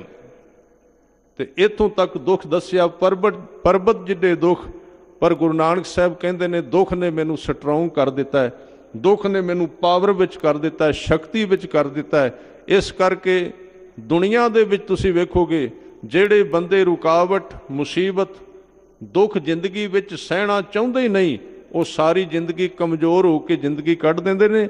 ਜਿਹੜੇ ਲੋਕ ਦੁੱਖਾਂ ਦੇ ਨਾਲ ਦੋਸਤੀ ਪਾ ਕੇ ਜਿਉਂਦੇ ਨੇ, ਉਹ ਪਾਵਰਫੁਲ ਹੋ ਜਾਂਦੇ, ਉਹਨਾਂ ਦੀ ਸ਼ਕਤੀ ਵੱਧ ਜਾਂਦੀ। ਗੁਰੂ ਸਾਹਿਬ ਦੇ ਬਚਨ ਨੇ, ਦੀਵਾ ਮੇਰਾ ਏਕ ਨਾਮ, ਦੁੱਖ ਵਿੱਚ ਪਾਇਆ ਤੇਲ, ਉਨ ਚਾਨਣ ਉਹ ਸੋਖਿਆ, ਚੂਕਾ ਜਮ ਸਿਓ ਮੇਲ, ਤੇ ਅੱਗੇ ਇੱਕ ਬਚਨ ਕਿਹਾ, ਲੋਕਾ, ਮਤ ਕੋ ਫਕੜ ਪਾਏ। ਮਤ ਕੋ ਫਕੜ ਪਾਏ। ਫਕੜ ਦਾ ਮਤਲਬ ਮਖੌਲ ਕਰਨਾ, ਟਿਚਰਾਂ ਕਰਨੀਆਂ। ਵਾਧੂ ਬੋਲਣਾ। ਲੱਖ ਮੜਿਆਂ ਕਰ ਏਕਟੇ ਏਕ ਰਤੀ ਲੈ ਪਾਹੇ, ਪੰਕਤੀ ਵੱਲ ਧਿਆਨ ਦੇਣਾ। ਗੁਰੂ ਸਾਹਿਬ ਨੇ ਇੱਕ ਬਚਨ ਕੀਤਾ ਹੈ। ਉਹ ਕਹਿੰਦੇ ਨੇ, ਗੁਰੂ ਕੇ ਸਿੱਖਾ ਇਹ ਨਾ ਸੋਚੀ, ਮੈਂ ਕਿੰਨੇ ਪਾਪ ਕੀਤੇ ਨੇ, ਕਿੰਨੇ ਝੂਠ ਬੋਲੇ ਨੇ, ਕਿੰਨੀ ਸ਼ਰਾਬ ਪੀਤੀ ਏ। ਕਿੰਨੇ ਪਾਪ ਕੀਤੇ, ਜਦੋਂ ਮੇਰੇ ਕੋਲ ਆਉਣਾ ਇਹ ਸੋਚ ਕੱਢ ਕੇ ਆਇਆ ਕਰ। ਕਿਉਂਕਿ ਮੈਨੂੰ ਤੇਰੇ ਦੁੱਖ ਕੱਟਣ ਵਾਸਤੇ ਇਹ ਕੋਈ ਜ਼ਰੂਰਤ ਨਹੀਂ। ਕਿ ਤੂੰ ਇੱਕ ਪਾਪ ਕਰਕੇ ਆਇਆ, ਕਿ ਕਰੋੜ ਕਰਕੇ ਆਇਆ। ਮੇਰੇ ਵਾਸਤੇ ਕਰੋੜ ਕੱਟਣੇ ਵੀ ਉਨਾ ਹੀ ਟਾਈਮ ਲਾਉਂਦੇ ਨੇ ਤੇ ਇੱਕ ਪਾਪ ਕੱਟਣਾ ਵੀ ਉਨਾ ਚਿਰ ਹੀ ਲਾਉਂਦਾ। ਗੁਰੂ ਦਾ ਮਤਲਬ ਕੀ ਹੈ ਗੁਰੂ ਦਾ ਅਰਥ ਹੀ ਹੈ ਵੀ ਜਿੱਥੇ ਟਾਈਮ ਨਹੀਂ ਲੱਗਦਾ, ਸਗੋਂ ਗੁਰੂ ਨੂੰ ਤੇ ਸੌਖਾ ਹੋ ਜਾਂਦਾ। ਉਦਾਹਰਨ ਕਿਹੜੀ ਦਿੱਤੀ ਹੈ ਉਹ ਕਹਿੰਦੇ ਨੇ ਇੱਕ ਥਾਂ ਤੇ ਲੱਖਾਂ ਮਣ ਲੱਕੜਾਂ ਇਕੱਠੀਆਂ ਪਈਆਂ ਸਨ। ਲੱਖਾਂ ਮਣ, ਉਹਨਾਂ ਨੂੰ ਸਾੜਨਾ ਸੀ। ਹੁਣ ਲੱਖਾਂ ਮਣ ਲੱਕੜਾਂ ਨੂੰ ਸਾੜਨ ਵਾਸਤੇ ਲੱਖ ਮਣ ਅੱਗ ਦੀ ਲੋੜ ਨਹੀਂ ਪੈਂਦੀ। ਅੱਗ ਸਿਰਫ ਇੱਕ ਚੰਗਿਆਰੀ ਚਾਹੀਦੀ ਹੈ। ਲੱਖਾਂ ਮਣ ਅੱਗ ਦੀ ਲੋੜ ਨਹੀਂ ਪੈਣੀ। ਇੱਕੋ ਚੰਗਿਆਰੀ ਬਸ ਲੱਗਣੀ ਚਾਹੀਦੀ ਅੱਗ। ਸਗੋਂ ਜਿੰਨੀਆਂ ਲੱਕੜਾਂ ਜ਼ਿਆਦੀਆਂ ਹੋਣਗੀਆਂ ਉਨੀ ਅੱਗ ਜਿਆਦੀ ਭੜਕੇਗੀ। ਕਈ ਵਾਰੀ ਤੇ ਇਸ ਤਰ੍ਹਾਂ ਵੀ ਹੁੰਦਾ ਹੈ, ਕਈ ਵਾਰੀ ਬੰਦਾ ਪਾਪੀ ਅਤ ਸਿਰੇ ਦਾ ਹੁੰਦਾ ਹੈ ਤੇ ਗੁਰੂ ਉਹਨੂੰ ਸਭ ਤੋਂ ਪਹਿਲਾਂ ਬਖਸ਼ ਦਿੰਦਾ ਹੈ ਇਤਿਹਾਸ ਪੜ੍ਹ ਕੇ ਵੇਖ ਲਓ। ਕਿੰਨੇ ਕਿੰਨੇ ਉਦਾਹਰਨ ਨੇ ਸਾਡੇ ਕੋਲ? ਗੁਰੂ ਤੇਗ ਬਹਾਦਰ ਸਾਹਿਬ ਜੀ ਉਦਾਹਰਨ ਦਿੰਦੇ ਨੇ। ਮਨ ਰੇ ਪ੍ਰਭ ਕੀ ਸ਼ਰਨ ਵਿਚਾਰੋ, ਜੇ ਸਿਮਰਤ ਗਨਕਾ ਸੀ ਉਦਰੀ ਤਾਂ ਕੋ ਜਸ ਉਰਤਾਰੋ। ਅਟਲ ਭਇਓ ਤਰੂ ਜਾਂ ਕੈ ਸਿਮਰਨ ਅਰ ਨਿਰਪੈ ਪਦ ਪਾਇਆ, ਦੁਖ ਹਰਤਾ ਇਹ ਵਿਦ ਕੋ ਸੁਆਮੀ ਤੈ ਕਾਹੇ ਬਿਸਰਾਇਆ। ਜਬ ਹੀ ਸ਼ਰਨ ਗਹੀ ਕਿਰਪਾ ਨਿਦ ਗਜ ਗਰਾ ਤੇ ਛੂਟਾ, ਮਹਿਮਾ ਨਾਮ ਕਹਾਂ ਲੋ ਵਰਨੋ RAM ਕਹਿਤ ਬੰਧਨ ਤੇ ਟੂਟਾ ਅਜਾ ਮਲ ਪਾਪੀ ਜਗ ਜਾਣੇ, ਨਿਮਖ ਮਹਿ ਨਿਸਤਾਰਾ, ਨਾਨਕ ਕਹਿਤ ਚੇਤ ਚਿੰਤਾ ਮਨ ਤੈ ਵੀ ਉਤਰ ਸੁਪਾਰਾ ਆ ਕਿੰਨੇ ਪਾਪੀ ਨੇ? ਮੈਂ ਬੇਨਤੀ ਕਰ ਰਿਹਾ ਸੀ, ਹੋ ਸਕਦਾ ਇੱਕ ਲੱਕੜ ਨੂੰ ਅੱਗ ਲੇਟ ਲੱਗੇ, ਇੱਕੋ ਲੱਕੜ ਇਸ ਕਰਕੇ ਜਦੋਂ ਸਿੱਖ ਸਿਰੇ ਤੇ ਹੁੰਦਾ ਨਾ, ਗੁਰੂ ਦੇ ਨੇੜੇ ਆ ਜਾਂਦਾ, ਉਦੋਂ ਟਾਈਮ ਜ਼ਿਆਦਾ ਲੱਗਦਾ ਟਾਈਮ ਜ਼ਿਆਦਾ ਲੱਗਦਾ ਕਈ ਵਾਰੀ ਮਹਾਪਾਪੀ ਵਿਅਕਤੀ, ਤੁਸੀਂ ਵੇਖੋਗੇ, ਮੇਰੀ ਜ਼ਿੰਦਗੀ ਵਿੱਚ ਕਈ ਇਸ ਤਰ੍ਹਾਂ ਦੇ ਮਨੁੱਖ ਆਏ ਨੇ, ਜਿਹੜੇ ਸਵੇਰ ਤੋਂ ਅਗਲੀ ਸਵੇਰ ਤੱਕ ਸ਼ਰਾਬ ਪੀਂਦੇ ਸੀ। ਤੇ ਜਿੱਦਣ ਪਾਸਾ ਪਲਟਣ ਲੱਗਾ, ਸਾਧ ਸੰਗਤ ਜੀ, ਪਹਿਲੀ ਸਵੇਰ ਤੋਂ ਪਾਠ ਸ਼ੁਰੂ ਕੀਤਾ ਤੇ ਰਾਤ ਸੂਰਜ ਡੁੱਬ ਗਿਆ, ਨਿਤਨੇਮ ਤੋਂ ਉੱਠੇ ਹੀ ਨਹੀਂ। ਇਹ ਕੀ ਹੋਇਆ ਲੱਕੜਾਂ ਜਿਆਦੀਆਂ ਸਨ ਤੇ ਅੱਗ ਤੇਜ਼ ਲੱਗ ਗਈ। ਫੜ ਲਿਆ। ਇਸ ਲਈ ਗੁਰੂ ਨੂੰ ਦੇਰ ਨਹੀਂ ਲੱਗਦੀ। ਇਹ ਦਿਮਾਗ ਦੇ ਵਿੱਚੋਂ ਕੱਢ ਕੇ ਆਉਣਾ ਚਾਹੀਦਾ ਹੈ ਕਿ ਮੇਰੇ ਪਾਪ ਬੜੇ ਨੇ, ਮੇਰਾ ਕੀ ਬਣੇਗਾ? ਸਤਿਗੁਰੂ ਕਹਿੰਦੇ, ਮੇਰੇ ਕੋਲ ਆਉਣ ਦਾ ਤੈਨੂੰ ਫਾਇਦਾ ਕੀ ਹੈ ਜੇ ਤੈਨੂੰ ਇਹ ਫਿਕਰ ਪੈ ਗਿਆ? ਇੱਥੇ ਦੇਰ ਨਹੀਂ ਲੱਗਦੀ। ਸਤਿਗੁਰੂ ਦੇ ਬਚਨ ਤੁਸੀਂ ਅੰਮ੍ਰਿਤ ਵੇਲੇ ਆਸਾ ਦੀ ਵਾਰ ਵਿੱਚ ਸਰਵਣ ਕੀਤੇ ਨੇ। ਬਲਿਹਾਰੀ ਗੁਰ ਆਪਣੇ ਦਿਉਹਾੜੀ ਸਦਵਾਰ ਜਿਨ ਮਾਨਸ ਤੇ ਦੇਵਤੇ ਕੀਏ ਕਰਤ ਨਾ ਲਾਗੀ, ਬਾਰ ਬਾਰ ਮੈਨੇ ਦੇਰ ਦੇਰ ਨਹੀਂ ਲੱਗਦੀ, ਨਾਲੇ ਪੂਰਾ ਗੁਰੂ ਹੋਵੇ। ਆ ਕੱਚਾ ਪਿੱਲਾ ਹੋਵੇ, ਫਿਰ ਤੇ ਦੇਰ ਦੀ ਤੇ ਨਾ ਸਵੇਰ ਦੀ, ਫਿਰ ਤੇ ਵਿਆ- ਵਿਚਾਰ ਦੀ ਲੋੜ ਹੀ ਨਹੀਂ। ਕੱਚਾ ਹੋਵੇ ਫਿਰ ਨਹੀਂ, ਪਰ ਪੂਰਾ ਗੁਰੂ ਹੈ, ਪੂਰਾ ਗੁਰੂ ਟਾਈਮ ਨਹੀਂ ਲਾਉਂਦਾ, ਸਮਾਂ ਨਹੀਂ ਲਾਉਂਦਾ। ਤੇ ਗੁਰੂ ਨਾਨਕ ਸਾਹਿਬ ਕਹਿੰਦੇ, ਗੁਰੂ ਕੇ ਸਿੱਖਾ, ਇਹ ਨਾ ਸੋਚਿਆ ਕਰ ਬਈ ਟਾਈਮ ਕਿੰਨਾ ਲੱਗੇਗਾ? ਸਮਾਂ ਕਿੰਨਾ ਲੱਗੇਗਾ? ਹਾਂ, ਇੱਕ ਗੱਲ ਪੱਕੀ ਏ, ਜੇ ਤੈਨੂੰ ਵਿੰਗ ਪੈ ਗਏ ਨੇ ਜ਼ਿੰਦਗੀ ਵਿੱਚ, ਤੇ ਵਿੰਗ ਨਿਕਲਨੇ ਤਾਂ ਨਹੀਂ ਮੇਰੇ ਥੋੜੇ ਸਹਿਣ ਵਾਸਤੇ ਤਿਆਰ ਹੋ ਜਾ। ਇਹ ਕੋਈ ਇਸ ਤਰ੍ਹਾਂ ਦੀ ਸਿੱਖੀ ਨਹੀਂ ਵੀ ਮਾੜੀ ਜੀ ਸੱਟ ਵੱਜੀ ਜੀ, ਸਿੱਖ ਬਣੇ ਸੀ ਜੀ, ਕੀ ਮਿਲਿਆ ਵਿੱਚੋਂ? ਤੁਸੀਂ ਤੇ ਗੁਰਦੁਆਰੇ ਜਾਂਦੇ ਸੀ ਜੀ, ਤੁਹਾਨੂੰ ਕੀ ਮਿਲਿਆ ਉੱਥੋਂ?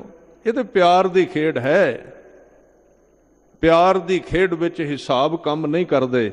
ਜਿਹੜੇ ਪਦਾਰਥ ਦੀ ਦੁਨੀਆ ਵਿੱਚ ਡਿੱਗੇ ਪਏ ਲੋਕ ਨੇ, ਉਹ ਹਿਸਾਬ ਤੇ ਵਹੀ ਖਾਤੇ ਕਰਦੇ ਨੇ। ਇਹ ਵਪਾਰੀਆਂ ਦਾ ਵਿਸ਼ਾ ਨਹੀਂ, ਇਹ ਜਵਾਰੀਆਂ ਦਾ ਵਿਸ਼ਾ ਹੈ। ਪਿਆਰ ਦੀ ਦੁਨੀਆ। ਉਹ ਹਿਸਾਬ ਨਹੀਂ ਕਰਦੇ। ਇਸ ਕਰਕੇ ਜੇ ਵਿੰਗ ਕਢਾਉਣੇ ਨੇ, ਤੇ ਫਿਰ ਚੋਟਾਂ ਸਹਿਣੀਆਂ ਪੈਣਗੀਆਂ। ਹਾਂ, ਉਹਨੂੰ ਪਤਾ ਲੱਗ ਜਾਏ ਕਿ ਚੋਟਾਂ ਮੈਨੂੰ ਕਾਹਦੇ ਤੋਂ ਪੈ ਰਹੀਆਂ ਨੇ? ਕਈ ਵਾਰੀ ਪਤਾ ਨਹੀਂ ਲੱਗਦਾ, ਮੈਂ ਉਦਾਹਰਨ ਦੇ ਦੇਣਾ ਆਪ ਜੀ ਨੂੰ। ਗੁਰੂ ਤੇਗ ਬਹਾਦਰ ਸਾਹਿਬ ਪਾਤਸ਼ਾਹ ਜੀ ਦਾ ਇੱਕ ਸ਼ਬਦ ਲੈ ਲੈਣਾ ਕਿੰਨੂੰ ਪਤਾ ਲੱਗਦਾ ਵੀ ਮੇਰੇ ਤੇ ਪ੍ਰੀਖਿਆ ਪਈ ਹੋਈ? ਆ ਇੱਕ ਪੰਕਤੀ ਤੁਸੀਂ ਸੁਖਮਣੀ ਸਾਹਿਬ ਜ਼ਿਆਦਾ ਸੰਗਤ ਪੜ੍ਹਦੀ ਏ, ਉਹਦੇ ਵਿੱਚੋਂ ਲੈ ਲਵਾਂ। ਇੱਕੋ ਹੀ ਪੰਕਤੀ ਤੁਸੀਂ ਧਿਆਨ ਦਿਓਗੇ ਤੇ ਸਮਝ ਆ ਜਾਏਗੀ। ਮਹਾਰਾਜ ਕਹਿੰਦੇ, ਜ- ਤੇਰੀ ਜ਼ਿੰਦਗੀ ਦੇ ਵਿੱਚ ਗੁਰੂ ਕੇ ਸਿੱਖਾ ਜੋ ਵੀ ਵਰਤ ਰਿਹਾ ਹੈ ਉਹਨੂੰ ਉੱਚਾ ਉੱਠ ਕੇ ਵੇਖ ਵੀ ਇਹ ਕੀ ਹੋ ਰਿਹਾ ਹੈ? ਇਹ ਤੇਰੇ ਗੁਰੂ ਨੇ ਤੈਨੂੰ ਸਿੱਧਾ ਕਰਨ ਵਾਸਤੇ ਥੋੜੇ ਮਾਰ ਰਿਹਾ ਤੈਨੂੰ। ਜੋ ਵੀ ਵਰਤ ਰਿਹਾ, ਜੋ ਵਰਤਾਏ, ਸਾਈ ਜੁਗਤ ਜੋ ਵਰਤਾਏ। ਜੇ ਤੈਨੂੰ ਦੁੱਖ ਆ ਰਿਹਾ ਹੈ, ਦੁੱਖ ਦੇ ਰਾਹੀਂ ਤੇਰੇ ਵਿੰਗ ਕੱਢਣ ਦੀ ਕੋਸ਼ਿਸ਼ ਕਰ ਰਿਹਾ ਹੈ। ਜੋ ਵਰਤਾਏ, ਸਾਈ ਜੁਗਤ। ਜੇ ਤੈਨੂੰ ਸੁਖ ਦੇ ਰਿਹਾ ਹੈ, ਤੇ ਸੁਖ ਦੇ ਰਾਹੀਂ ਵੀ ਤੇਰੇ ਵਿੰਗ ਕੱਢਣ ਦੀ ਕੋਸ਼ਿਸ਼ ਕਰ ਰਿਹਾ ਹੈ। ਜੇ ਤੈਨੂੰ ਮਾਣ ਦੇ ਰਿਹਾ, ਸਨਮਾਨ ਦੇ ਰਿਹਾ, ਇੱਜ਼ਤ ਦੇ ਰਿਹਾ ਹੈ ਤੇ ਉਹਦੇ ਰਾਹੀਂ ਵੀ ਤੇਰੇ ਵਿੰਗ ਕੱਢਣ ਦੀ ਕੋਸ਼ਿਸ਼ ਕਰ ਰਿਹਾ ਹੈ, ਤੇ ਜੇ ਕਿਤੇ ਤੇਰਾ ਅਪਮਾਨ ਵੀ ਹੁੰਦਾ ਹੈ ਨਾ, ਨਹੀਂ ਸਤਿਕਾਰ ਮਿਲਦਾ, ਉਹਦੇ ਪਿੱਛੇ ਵੀ ਤੇਰੀ ਹਉਮੈ ਕੱਢਣ ਦਾ ਇੱਕ ਤਰੀਕਾ ਹੈ ਉਹਦਾ। ਪਤਾ ਹੀ ਨਹੀਂ ਲੱਗਦਾ ਕਿੰਨੇ ਕੁ ਤਰੀਕੇ ਨੇ। ਆ ਇੱਕ ਸ਼ਬਦ ਮੈਂ ਸਾਂਝਾ ਕਰ ਦੇਣਾ ਜੋ ਨਰ ਦੁੱਖ ਮੈਂ, ਦੁੱਖ ਨਹੀਂ ਮੰਨਣਾ ਕਹਿੰਦੇ ਦੁੱਖ ਆਵੇ ਤੇ ਵਿਵੇਕ ਦੀ ਨਜ਼ਰ ਨਾਲ ਉੱਚਾ ਉੱਠ ਕੇ ਵੇਖ। ਇਹ ਹੈ ਬੜਾ ਔਖਾ।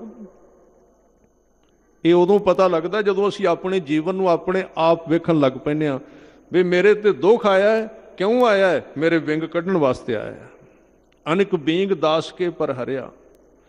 ਜੋ ਨਰ ਦੁੱਖ ਮੈਂ ਦੁੱਖ ਨਹੀਂ ਮਾਨੈ, ਸੁਖ ਸਨੇਹੋ ਅਰ ਭੈ ਨਹੀਂ ਜਾਂਕੈ ਸੁਖ ਸਨੇਹੋ ਇੱਕ ਇੱਕ ਅੱਖਰ ਗੁਰੂ ਤੇਗ ਬਹਾਦਰ ਸਾਹਿਬ ਜੀ ਦਾ ਕੀਮਤੀ ਇੱਥੇ ਨਹੀਂ ਕਿਹਾ ਵੀ ਸੁਖ ਨਾ ਆਵੇ। ਮਹਾਰਾਜ ਕਹਿੰਦੇ, ਸੁਖ ਆਵੇ, ਪਰ ਸੁਖ ਦੇ ਨਾਲ ਸਨੇਹ ਨਾ ਕਰੀ। ਸੁਖ ਜ਼ਰੂਰ ਆਵੇ, ਸੁਖ ਨਾਲ ਸਨੇਹ ਨਾ ਕਰੀ, ਕਿਉਂਕਿ ਇਸ ਸੁਖ ਨੇ ਕਿਸੇ ਦਿਨ ਦੁੱਖ ਵੀ ਬਣਨਾ ਹੈ। ਸੁਖ ਦੇ ਨਾਲ ਪਿਆਰ ਨਾ ਪਾਈ, ਇਹ ਦੁਨੀਆ ਹੈ ਇਸ ਤਰ੍ਹਾਂ ਦੀ ਹੈ। ਸੁਖ ਸਨੇਹ ਅਰ ਭੈ ਨਹੀਂ ਜਾ ਕੇ ਵੱਡਿਆਂ ਤੋਂ ਡਰਿਆ ਨਾ ਕਰ, ਛੋਟਿਆਂ ਨੂੰ ਧੱਕੇ ਨਾ ਮਾਰਿਆ ਕਰ। ਇਹ ਰਹਿ ਤੇ ਸਿੱਖ ਦੀ ਅੰਦਰਲੀ। ਸੁਖ ਸਨੇਹ ਅਰ ਭੈ ਨਹੀਂ ਜਾ ਕੇ ਕੰਚਨ ਮਾਟੀ ਮਾਨੈ। ਜੇ ਸੋਨਾ ਮਿਲ ਜਾਏ ਤੇ ਤਾਂ ਵੀ ਉਵੇਂ ਦਾ, ਜੇ ਮਿੱਟੀ ਮਿਲੇ ਤਾਂ ਵੀ ਉਵੇਂ ਦੀ। ਕੰਚਨ ਮਾਟੀ ਮਾਨੈ ਨੈ ਨਿੰਦਿਆ ਨੈ ਉਸਤਤ ਜਾ ਕੇ ਨਾ ਨਿੰਦਿਆ ਦਾ ਅਸਰ, ਨਾ ਉਸਤਤ ਦਾ ਅਸਰ। ਨੈ ਨਿੰਦਿਆ ਨੈ ਉਸਤਤ ਜਾਂ ਕੈ ਲੋਭ ਮੋਹ ਅਭਿਮਾਨਾ। ਹਰਖ ਸੋਗ ਤੇ ਰਹਿ ਨਿਆਰੋ, ਨਾਹੇ ਮਾਨ ਅਪਮਾਨਾ। ਆਸਾ ਮਨਸਾ ਸਗਲ ਤਿਆਗੈ, ਜਗ ਤੇ ਰਹੇ ਨਿਰਾਸਾ। ਕਾਮ ਕ੍ਰੋਧ ਜੇ ਪਰਸੈ ਨਾਹੀ ਤੇ ਘਟ, ਬ੍ਰਹਮ ਨਿਵਾਸਾ, ਗੁਰ ਕਿਰਪਾ ਜੇ ਨਰ ਕੋ ਕੀਨੀ, ਤੇ ਇਹ ਜੁਗਤ ਪਛਾਨੀ, ਨਾਨਕ ਲੀਨ ਭਇਓ ਗੋਬਿੰਦ ਸਿਉ, ਜਿਉ ਪਾਣੀ ਸੰਗ ਪਾਣੀ। ਆ ਪ੍ਰਾਪਤੀ ਹੋ ਗਈ, ਪਾਣੀ ਵਰਗਾ, ਸਿੱਖ ਗੁਰੂ ਵਰਗਾ ਬਣ ਗਿਆ। ਇਸ ਕਰਕੇ ਗੁਰਸਿੱਖੀ ਮਾਰਗ ਤੇ ਜਦੋਂ ਵੀ ਦੁੱਖ ਆਉਂਦਾ ਹੈ, ਉਹ ਦੁੱਖ ਸਾਡੇ ਵਿੰਗ ਵਾਲ ਅੰਦਰਲੀ ਮੈਲ ਕੱਢਣ ਵਾਸਤੇ ਹੈ। ਅੰਦਰੋਂ ਆਗਿਆ ਇਹ ਸੰਗਤ ਤੋਂ ਬਿਨਾ ਪਤਾ ਨਹੀਂ ਲੱਗਦਾ। ਗੁਰਬਾਣੀ ਦੇ ਨੇੜੇ ਆਉਣ ਤੋਂ ਬਿਨਾ ਪਤਾ ਨਹੀਂ ਲੱਗਦਾ। ਇਸ ਕਰਕੇ ਅਨੇਕ ਵਿੰਗ ਜਿਹੜੇ ਨੇ, ਪਰਮੇਸ਼ਰ ਨੇ ਕੱਢ ਦਿੱਤੇ ਹਨ। ਸੱਚੇ ਪਾਤਸ਼ਾਹ ਜੀ, ਇਹਨਾਂ ਬਚਨਾਂ ਦੇ ਵਿੱਚ ਕਿਰਪਾ ਕਰਦੇ ਹਨ। ਸਤਨਾਮ। ਸ੍ਰੀ ਵਾਹਿਗੁਰੂ ਸਾਹਿਬ ਜੀ, ਸੂਹੀ ਮਹੱਲਾ ਪੰਜਵਾ, ਅਨਕ ਬੀਂਗ ਦਾਸ ਕੇ ਪਰ ਹਰਿਆ। ਸਤਿਗੁਰੂ ਜੀ ਬਚਨ ਕਰ ਰਹੇ ਨੇ ਸੂਹੀ ਰਾਗ ਵਿੱਚ, ਪੰਜਵੇਂ ਪਾਤਸ਼ਾਹ ਗੁਰੂ ਅਰਜਨ ਦੇਵ ਮਹਾਰਾਜ ਜੀ। ਅਨੇਕ ਅਨੇਕ ਮੈਨੇ ਬਹੁਤੇ 1 2 4 10 20 ਨਹੀਂ ਸਨ। ਪਤਾ ਨਹੀਂ ਕਿੰਨਾ ਕੁ ਅੰਦਰ ਖਰਾਬ ਸੀ ਸਾਡਾ ਸੁਭਾਅ। ਕਈ ਵਾਰੀ ਅਸੀਂ ਆਪਣੇ ਸੁਭਾਅ ਨੂੰ ਵੇਖ ਕੇ ਮੱਥੇ ਤੇ ਹੱਥ ਮਾਰਨੇ ਆ ਵੀ ਮੈਂ ਕਿਵੇਂ ਦਾ। ਹਾਂ ਗਲਤੀ ਕਰ ਲਈ, ਫਿਰ ਪਛਤਾਵਾ, ਗਲਤੀ ਕਰ ਲਈ, ਫਿਰ ਪਛਤਾਵਾ ਫਿਰ ਪਛਤਾਵਾ। ਪਰਮੇਸ਼ਰ ਨੇ ਕਿਰਪਾ ਕੀਤੀ ਤੇ ਜਿਹੜੇ ਵਲ ਵਿੰਗ ਸਨ ਨਾ, ਅਨੇਕ ਬੀਂਗ ਬੀਂਗ ਦਾ ਅਰਥ ਹੈ ਵਿੰਗ। ਆ ਇੱਕ ਰਿਸ਼ੀ ਬੜਾ ਵੱਡਾ ਹੋਇਆ ਉਹਦੇ ਸਰੀਰ ਨੂੰ 8 ਵਲ ਸਨ 8 ਉਹਨੂੰ ਕਹਿੰਦੇ ਨੇ ਅਸ਼ਟਾਵਕਰ। ਸਰੀਰ ਨੂੰ 8 ਵਲ ਪਏ ਹੋਏ ਸਨ। ਪਰ ਉਹਦੇ ਸਰੀਰ ਨੂੰ ਪਏ ਸਨ, ਸਾਡੇ ਅੰਦਰ ਨੂੰ ਪਏ ਹੋਏ ਨੇ। ਵਲ ਪਾਉਣੇ। ਅਨੇਕ ਬੀਂਗ ਦਾਸ ਕੇ ਪਰ ਹਰਿਆ ਦੂਰ ਕਰ ਦਿੱਤੇ ਹਨ ਪਰਮੇਸ਼ਰ ਨੇ ਜਿਹੜਾ ਮਨ ਸੀ ਉਹ ਪਵਿੱਤਰ ਕਰ ਦਿੱਤਾ ਹੈ। ਕਰ ਕਿਰਪਾ ਪ੍ਰਭ ਆਪਣਾ ਕਰਿਆ। ਕਿਰਪਾ ਕਰਕੇ ਪ੍ਰਭੂ ਨੇ ਪਰਮੇਸ਼ਰ ਨੇ ਆਪਣੇ ਚਰਨਾਂ ਦੇ ਨਾਲ ਜੋੜ ਲਿਆ ਆਪਣੇ ਵਰਗਾ ਕਰ ਲਿਆ। ਅੰਦਰ ਤਬਦੀਲੀ ਆ ਗਈ ਹੈ ਅੰਦਰ ਫ਼ਰਕ ਪੈ ਗਿਆ ਸੁਭਾਅ ਤਬਦੀਲ ਹੋ ਗਿਆ ਅੰਦਰ ਪ੍ਰਕਾਸ਼ ਹੋ ਗਿਆ। ਸਤਿਗੁਰੂ ਜੀ ਦਾ ਇੱਕ ਬਚਨ ਵਿੱਚ ਲੈ ਲਈਏ। ਮਹਾਰਾਜ ਕਹਿੰਦੇ ਨੇ, ਫੂਟੋ ਆਂਡਾ ਭਰਮ ਕਾ, ਮਨੈ ਭਇਓ ਪ੍ਰਗਾਸ। ਅੰਦਰ ਭਰਮ ਹਨੇਰੇ ਦਾ ਜਿਹੜਾ ਆਂਡਾ ਸੀ ਨਾ, ਉਹ ਟੁੱਟ ਗਿਆ। ਫੂਟੋ ਆਂਡਾ ਭਰਮ ਕਾ, ਮਨੈ ਭਇਓ ਪ੍ਰਗਾਸ, ਕਾਟੀ ਬੇਰੀ ਪਗੈ ਤੇ, ਪੈਰਾਂ ਨੂੰ ਦੁੱਖਾਂ ਦੀਆਂ, ਮਨਮਤ ਦੀਆਂ ਸੰਗਲ ਪਏ ਹੋਏ ਸਨ। ਗੁਰੂ ਨੇ ਆਪਣੇ ਉਪਦੇਸ਼ ਦੇ ਨਾਲ ਕੱਟ ਦਿੱਤੇ ਸੰਗਲ। ਕਾਟੀ ਬੇਰੀ ਪਗੈ ਤੇ ਗੁਰ ਕੀਨੀ ਬੰਦ ਖਲਾਸ ਆਵਣ ਜਾਣ ਰਿਓ ਤਬਤ ਕੜਾਹਾ 부ਝ ਗਿਆ, ਗੁਰ ਸੀਤਲ ਨਾਮ ਦਿਓ। ਇਹ ਬਖਸ਼ਿਸ਼ ਦੇ ਨਾਲ ਹੋਇਆ ਸਾਰਾ ਕੁਝ। ਵੇਖੋ, ਮਿਹਨਤ ਸਿੱਖ ਨੇ ਜ਼ਰੂਰ ਕਰਨੀ ਹੈ, ਪਰ ਇਹ ਸਾਰੀ ਸਿੱਖੀ ਦਾ ਆਧਾਰ ਅਰਦਾਸ ਹੈ। ਗੁਰੂ ਦੀ ਕਿਰਪਾ ਹੈ। ਕਿਰਪਾ ਵਰਤਦੀ ਏ, ਰਹਿਮਤ ਵਰਤਦੀ ਉਸ ਰਹਿਮਤ ਦੇ ਵਿੱਚ ਇਹ ਸਭ ਕੁਝ ਵਰਤਦਾ ਹੈ। ਇਹ ਜਿਵੇਂ ਤਪਦਾ ਹੋਇਆ ਜੀਵਨ, ਸੜਦਾ ਹੋਇਆ, ਠੰਡਾ ਹੋ ਗਿਆ ਆਪਾਂ ਇੱਕ ਪੰਕਤੀ ਗੁਰੂ ਚਰਨਾਂ ਦੇ ਵਿੱਚ ਸਾਰੇ ਪੜ੍ਹੀਏ, ਸਾਰਿਆਂ ਨੇ ਗੱਜ ਕੇ ਬੋਲਣ ਦੀ ਕਿਰਪਾ ਕਰਨੀ, ਤਪਤ ਕੜਾ ਬੁਝ ਗਿਆ, ਤਪਤ ਕੜਾ ਬੁਝ ਗਿਆ, ਤਪਤ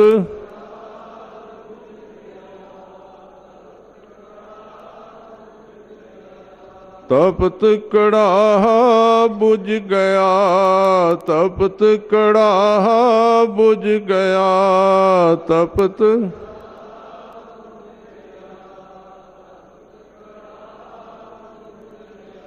ਗੁਰ ਸੀਤਲ ਨਾਮ ਦਿਓ, ਗੁਰ ਸੀਤਲ ਨਾਮ ਦਿਓ, ਗੁਰ ਸੀਤਲ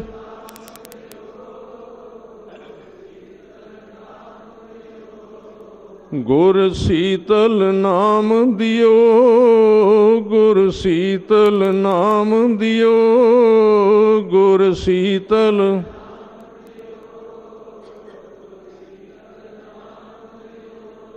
ਤਪਤ ਕੜਾਹ 부ਝ ਗਿਆ, ਤਪਤ ਕੜਾਹ 부ਝ ਗਿਆ, ਤਪਤ ਕੜਾਹ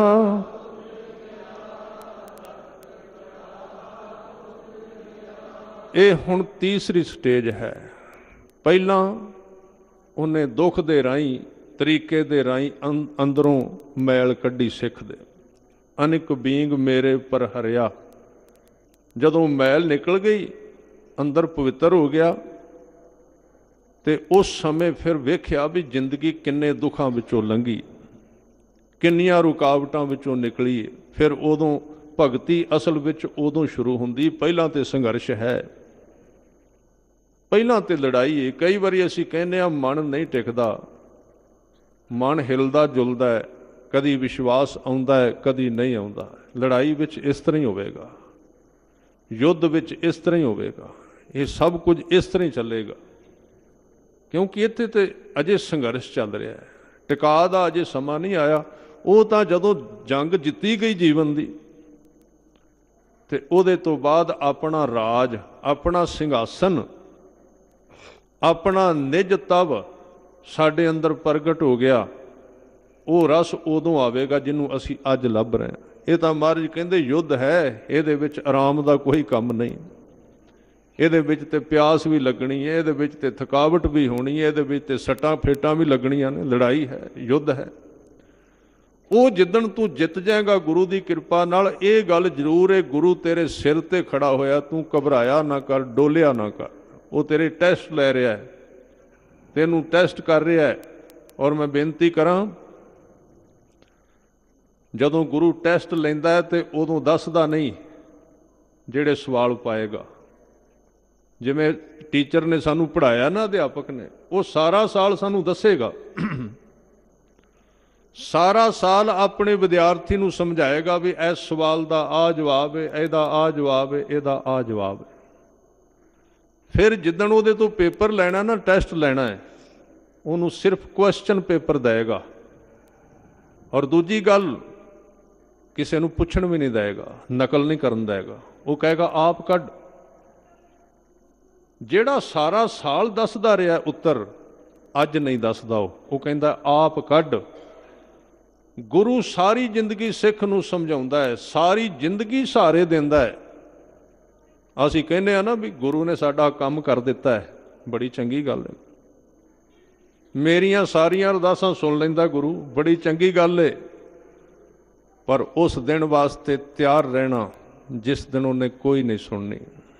ਅਜੇ ਤਾਂ ਪੜਾ ਰਿਹਾ ਹੈ। ਅਜੇ ਪੜਾ ਰਿਹਾ ਹੈ। ਇਸ ਰਾਹ ਦਾ ਸਵਾਦ ਹੀ ਇਹ ਹੈ। ਜਿਹੜੇ ਫਿਕਸ ਰਸਤੇ ਨੇ ਉਹਨਾਂ ਦਾ ਸਵਾਦ ਕੀ ਰਹਿ ਗਿਆ? ਨਵੀਨਤਾ ਵਿੱਚ ਆਨੰਦ ਹੈ। ਫਿਕਸ ਚੀਜ਼ਾਂ ਵਿੱਚ ਕੋਈ ਸਵਾਦ ਨਹੀਂ, ਕੋਈ ਆਨੰਦ ਨਹੀਂ। ਅਜੇ ਤਾਂ ਗੁਰੂ ਤੈਨੂੰ ਪੜਾ ਰਿਹਾ ਹੈ, ਕਦੀ ਤੇਰਾ ਕੋਈ ਕੰਮ ਕਰ ਦਿੰਦਾ ਵੀ ਥੋੜਾ ਜਿਹਾ ਹੋਰ ਮੇਰੇ ਨੇੜੇ ਆ ਜਾਏਗਾ, ਵੀ ਹੈ ਮੇਰੇ ਗੁਰੂ ਵਿੱਚ ਤਾਕਤ। ਅਜੇ ਤਾਂ ਆਇਆ ਹੈ ਥੋੜਾ ਜਿਹਾ ਕੋਈ ਕੰਮ ਕਰ ਦੇਗਾ ਉਹਦੇ ਨਾਲ ਹੋਰ ਨੇੜੇ ਆ ਗਿਆ, ਹੋਰ ਨੇੜੇ ਆ ਗਿਆ। ਪਰ ਜਿੱਦਣ ਉਹਨੇ ਤੇਰੇ ਉੱਤੇ ਪਾਈਆਂ ਨਾ ਕਸਵੱਟੀਆਂ, ਤੇਰੇ ਤੇ ਪਾਏ ਪੇਪਰ, ਉਸ ਦਿਨ ਤੇਰੇ ਕੋਲ ਖਲੋਤਾ ਹੋਵੇਗਾ ਬਿਲਕੁਲ। ਤੇ ਕਈ ਵਾਰੀ ਤੇ ਤੈਨੂੰ ਇਹ ਵੀ ਸ਼ੱਕ ਪੈ ਜਾਗਾ ਵੀ ਮੇਰਾ ਗੁਰੂ ਹੈ ਵੀ ਇਹ ਕਿ ਨਹੀਂ? ਕਿਉਂਕਿ ਉਦਣ ਉਹਨੇ ਤੈਨੂੰ ਕੱਲੇ ਨੂੰ ਛੱਡ ਦੇਣਾ, ਬਿਲਕੁਲ ਕੱਲੇ ਨੂੰ। ਹੁਣ ਆਪਣੇ ਸਵਾਲ ਆਪ ਹੱਲ ਕਰ। ਉਹਨੇ ਧੀਰਜ ਵੀ ਨਹੀਂ ਦੇਣੀ। ਉਸ ਟਾਈਮ ਉਹਨੇ ਕੋਈ ਸਹਾਰਾ ਨਹੀਂ ਦੇਣਾ ਤੈਨੂੰ। ਕਿਉਂਕਿ ਜੇ ਉਹਨੇ ਤੈਨੂੰ ਥੋੜਾ ਜਿਹਾ ਵੀ ਸਹਾਰਾ ਦੇ ਦਿੱਤਾ, ਤੂੰ ਉਸ ਵਿਦਿਆ ਦੇ ਵਿੱਚ ਕਮਜ਼ੋਰ ਰਹਿ ਜਾਏਗਾ। ਭਾਵੇਂ ਤੂੰ ਫੇਲ ਵੀ ਹੋ ਜਾਏ, ਉਹ ਤੈਨੂੰ ਸਹਾਰਾ ਨਹੀਂ ਦੇਗਾ ਕਦੀ। ਸਗੋਂ ਚਾਹੁੰਦਾ ਹੈ ਕਿ ਜੇ ਫੇਲ ਹੁੰਦਾ ਸਗੋਂ ਹੋ ਜਾਏ, ਇੱਕ ਸਾਲ ਹੋਰ ਲਾ ਜਾਏਗਾ, ਨਹੀਂ ਤੇ ਅੱਗੇ ਜਿਹੜੇ ਮਹਿਕਮੇ ਵਿੱਚ ਗਿਆ ਹੈ ਤੇ ਤੂੰ ਮਹਿਕਮੇ ਨਹੀਂ ਚੱਲਣਾ, ਉਹ ਵਿੱਚ ਹੀ ਰਹਿ ਜਾਏਗਾ। ਇਸ ਲਈ ਜਿੱਦਨ ਕਸਵੱਟੀ ਸ਼ੁਰੂ ਹੁੰਦੀ ਏ, ਕਸਵੱਟੀ ਦੇ ਟਾਈਮ ਗੁਰੂ ਕੋਈ ਸਹਾਇਤਾ ਨਹੀਂ ਕਰਦਾ ਉਦੋਂ ਸਿੱਖ ਨੇ ਕੰਮ ਕਰਨਾ ਹੁੰਦਾ ਹੈ। ਜੇ ਤਾਂ ਪਾਸ ਹੋ ਗਿਆ ਤੇ ਹੋ ਗਿਆ, ਫੇਲ ਹੋ ਗਿਆ ਤੇ ਉਹਨੂੰ ਕਹਿੰਦੇ ਫਿਰ ਐਡਮਿਸ਼ਨ ਸ਼ੁਰੂ ਕਰ, ਪਰਤ ਕੇ ਸਾਲ ਲਾ ਪਰਤ ਕੇ ਸ਼ੁਰੂ ਕਰ ਲੈ। ਤਾਂ ਇਹ ਤਰੀਕਾ ਹੈ ਸੱਚੇ ਪਾਤਸ਼ਾਹ ਜੀ ਕਹਿੰਦੇ ਕਿਰਪਾ ਕਰਕੇ ਉਹਨੇ ਹੁਣ ਪਾਸ ਕਰ ਦਿੱਤਾ ਹੈ।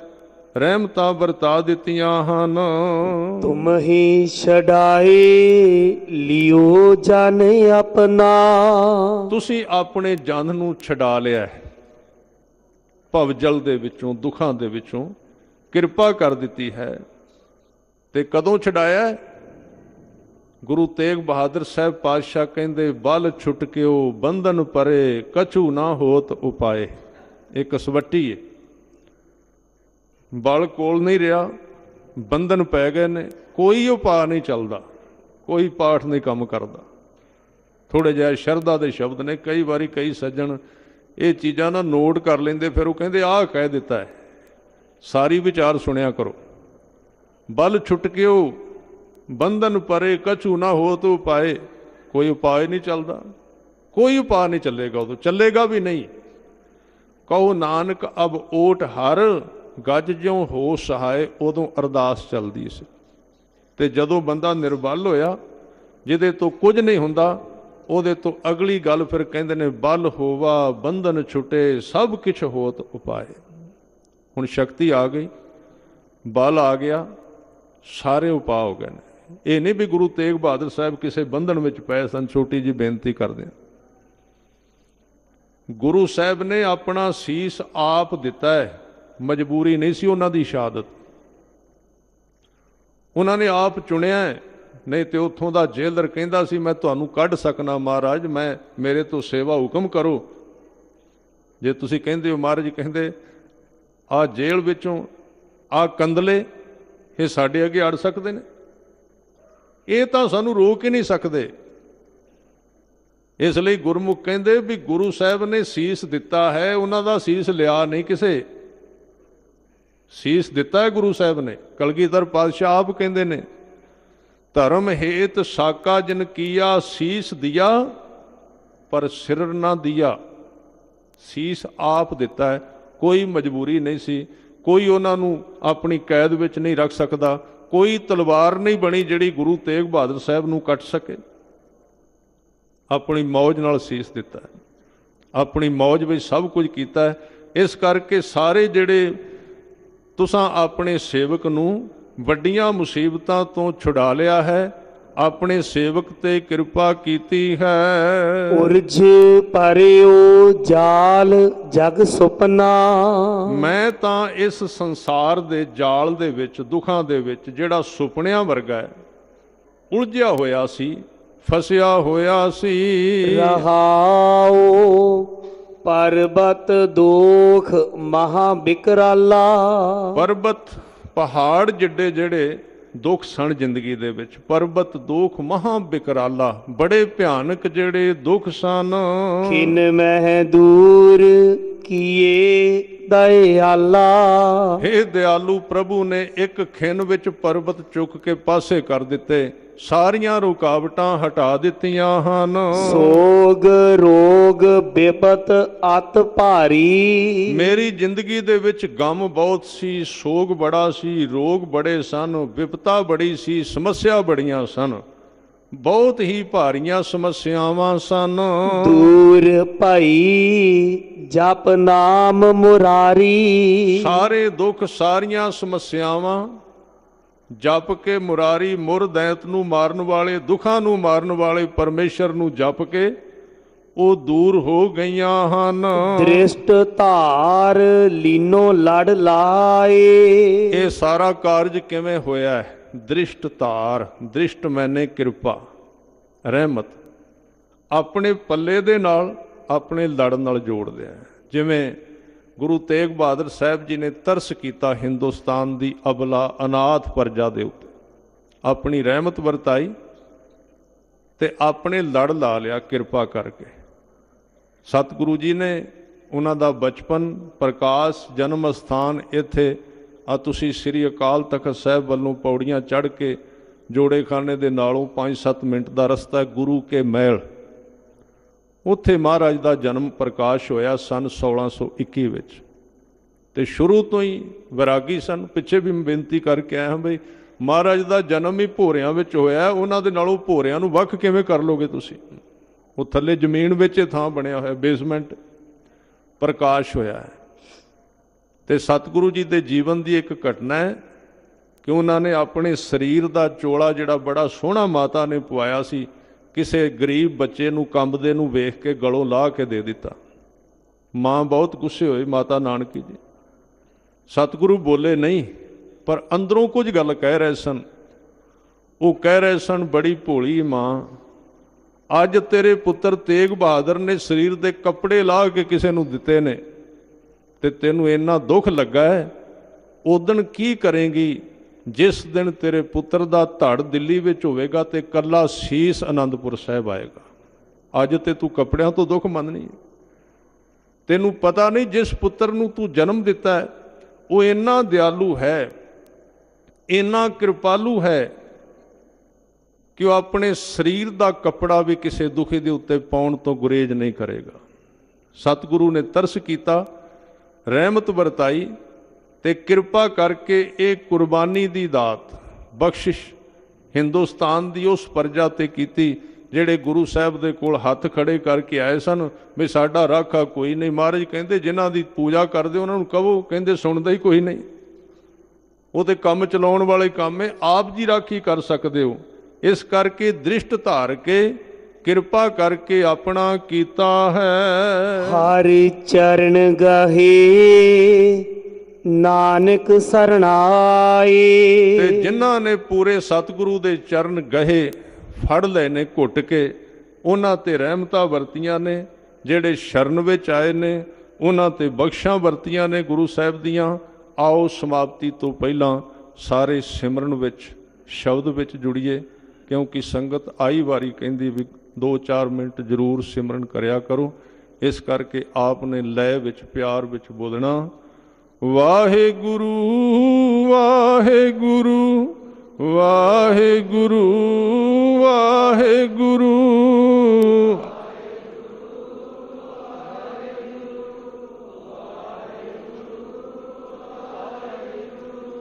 ਵਾਹਿਗੁਰੂ